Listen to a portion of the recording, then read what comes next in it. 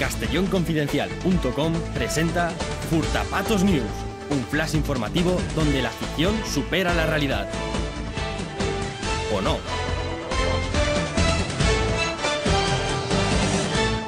Susana Marqués celebra el hermanamiento de Benicassim y Bad Saldefurt disfrazándose de salchicha gigante. La alcaldesa de Benicassim, Susana Marqués, ha querido celebrar el 30 aniversario del hermanamiento del municipio con el pueblo alemán de Bad Salderfurt disfrazándose de salchicha gigante durante este viernes. Además, cualquier vecino de la localidad podrá acudir durante el día de hoy al despacho de la alcaldesa a darle un bocadito. Según han informado desde el ayuntamiento, el mordisquito no podrá exceder más de los 20 centímetros cúbicos, ya que si no es posible que no haya para todos. Por su parte, su homólogo alemán de Bad Salderfurt se disfrazará de paella y de la misma forma todos los vecinos alemanes podrán probar un bocadito, a excepción del langostino, que queda reservado a la mujer del alcalde. Anda, mi madre, pues yo no sabía eso. Los políticos extraerán la sangre directamente para ahorrar gastos. Tras el rifirrafe entre el PP y el PSOE sobre el centro de sangre de la provincia de Castellón, desde la Generalitat Valenciana han anunciado una medida para contentar tanto a socialistas como a populares, así como al resto de partidos. Serán los propios partidos políticos quienes extraigan directamente la sangre a los castellonenses. Así lo ha explicado Miguel Alcalde, responsable del Hospital General. Hasta ahora, los políticos le chupábamos la sangre a los ciudadanos a través de intermediarios. Gracias a la gran gestión de la Consellería de Sanidad, a partir de ahora lo realizaremos directamente nosotros. Ahorraremos gastos y así nos aseguraremos que el 100% de la sangre sea para los políticos. Desde el Partido Popular han aplaudido la noticia y han emitido sus preferencias. Nos pedimos para nosotros la sangre de tipo B. Terrible, apocalíptico.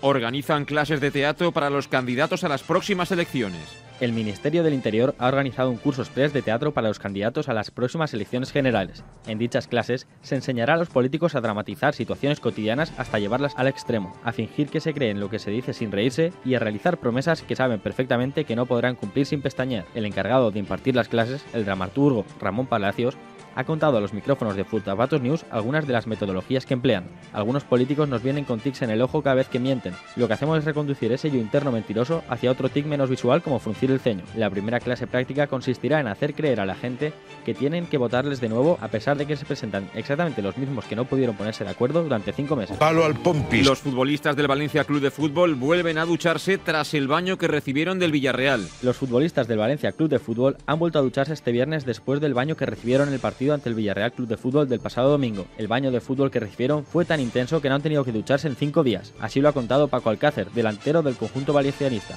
¡Ay, che! Vaya baño nos pegaron. Cuando llegué a casa mi mujer tuvo que apagar las luces de la brillantor que llevaba encima. Por su parte, el dueño del Valencia, Peter Lim, ha decidido que bajará su coche de alta gama a pie de campo en las próximas visitas del Villarreal para ahorrarse de pasar por el autolavado. Esto es vergonzoso. Esto es tercermundista.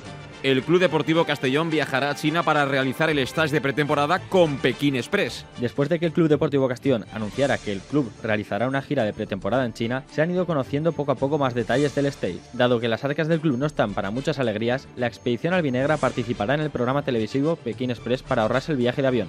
Así pues, nada más acabe la competición comenzarán a grabar la nueva temporada del programa presentado por Cristina Pedroche. La plantilla albinegra deberá echarle cara e ir llegando a China poco a poco, andando, haciendo autostop o colándose en ferrocarriles. Para poder llegar a tiempo a China, el Castellón ya ha palabrado con la productora que se dejarán vencer en la primera eliminatoria del playoff de ascenso. Lo primero es lo primero, indican desde la directiva albinegra. ¡Madre de Dios, madre de Dios! ¡Qué vergüenza, qué vergüenza! Los atletas del Playas de Castellón deberán correr con piedras en su ropa interior.